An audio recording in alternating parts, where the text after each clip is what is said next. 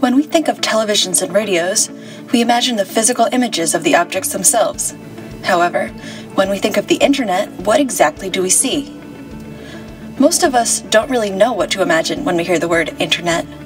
Should we think about the websites that we surf? Should we imagine the cables and fiber optic systems that provide us with connection? Or should we picture the machines that allow us to access the internet? Morozov states that the term internet is very vague.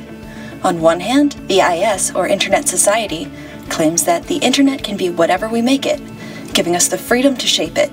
While, on the other hand, Nicholas Carr, a harsh critic of the internet, states that the internet controls us as the net provides a high speed system for delivering responses and rewards, which encourages the repetition of both physical and mental actions.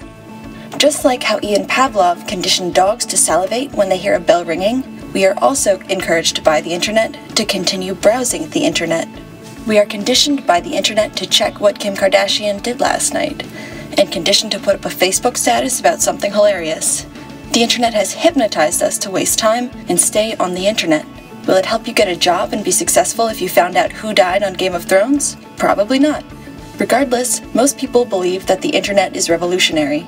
Yet we should also keep in mind that people considered the newest technologies of the day, such as automobiles, revolutionary as well. Tim Berners-Lee, the inventor of the World Wide Web, once said, There was a time when people felt the internet was from another world, but now people realize it's a tool that we use in this world. Just like how the automobile and other technologies have lost their novelty, the internet will one day be considered nothing special. Morozov suggests that we only believe the internet is amazing because it is still a recent invention. Internet changes nothing. As historian Marshall Poe puts it, it's not much of an exaggeration to say that the internet is a post office, newsstand, and video store rolled into one. Let's be honest, that's amazing. But it's amazing in the same way a dishwasher is amazing. It enables you to do something you have always done a little easier than before. The internet is widely considered a revolutionary technology that surpasses everything that has come before it.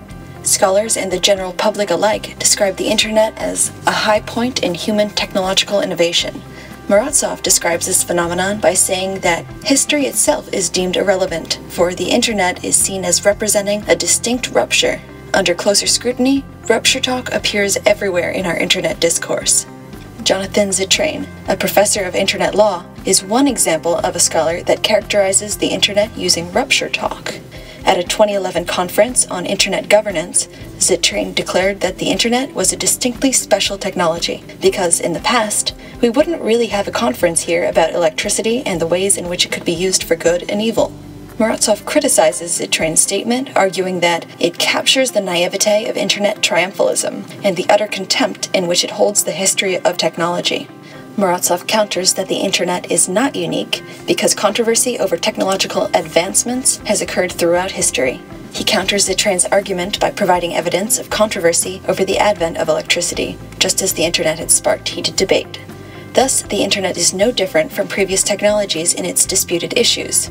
Only by papering over and suppressing such history can we see the internet as unique and exotic. According to Morozov, for something to be considered revolutionary, the declaration must meet two criteria. First, it needs to be cognizant of what has happened and been said before, so that the trend it's claiming as unique is in fact unique. Second, it ought to master the contemporary landscape in its entirety. It can't just cherry pick facts to suit its thesis. Following this criteria, Morozov proves that arguments about the advancement of the internet don't meet the standards for technological revolution. While the internet may not be revolutionary, it still plays an important role in our lives. Morozov suggests that internet centric supporters should acknowledge the internet differently.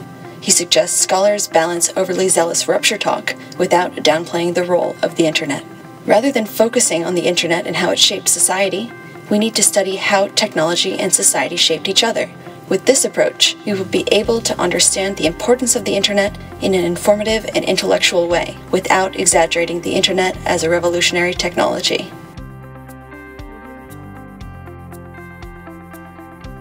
There is no need to abandon technological solutions altogether. Rather, an alternative, more open ended design can help achieve similar results while allowing human agents to continue exercising the tough, challenging choices that distinguish them from machines, which act on their own agendas with mindless and emotionless brutality.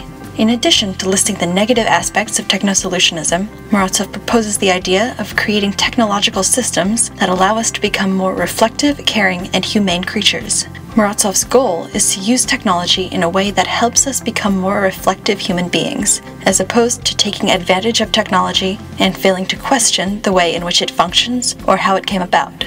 One of the biggest misconceptions of the last few decades was the separation of morality and technology. However, Morozov says that we can't always assume that all technologies are immoral. He believes that this is the time to create ways that technology can boost or compromise the human condition. Morozov essentially urges the use of technology to spark debate and politics, which to him are the true ways that we solve problems as humans. In other words, he wants technology to act as conversation starters. Morozov uses Santa Monica's smart parking system as an example of the separation between morality and technology. This new parking system uses parking meters with sensors that are able to determine when a car leaves a parking spot.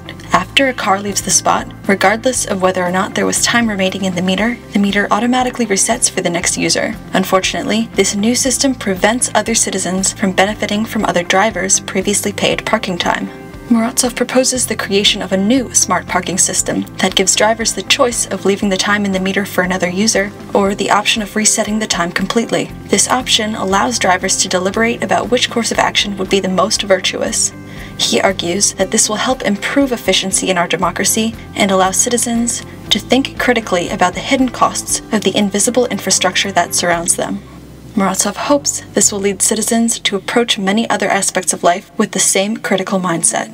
Morozov ultimately concludes that Santa Monica's parking system isn't smart enough because it doesn't give drivers the opportunity to reflect. Therefore, it does not allow technology to improve our human condition. Morozov emphasizes the utility of technology becoming more like the human condition, specifically by making it more unpredictable, just like humans. Hence, he mentions several inventions, one of which is a smart toaster created by Swedish engineers.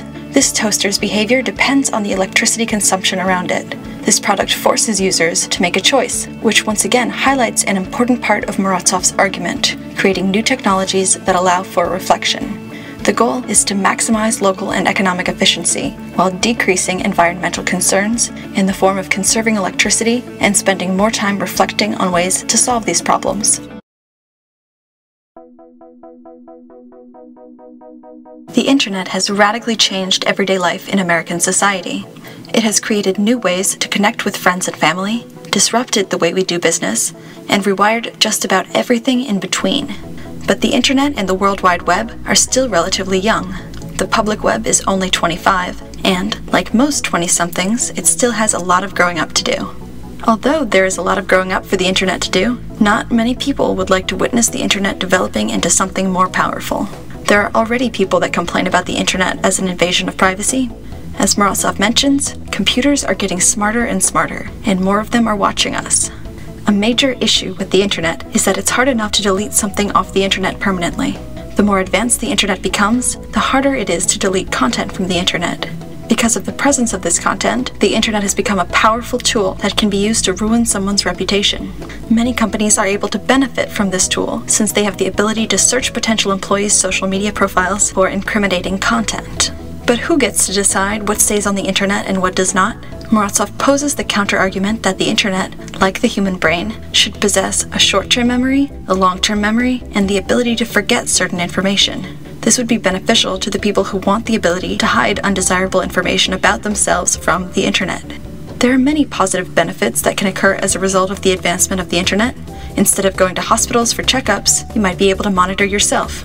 Instead of losing the willpower to resist fast foods, you'd be able to sign up for newsletters promoting healthy choices and conscientiousness.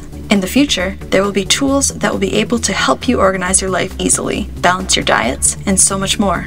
Although there is controversy about the future of the internet, it has potential to benefit mankind.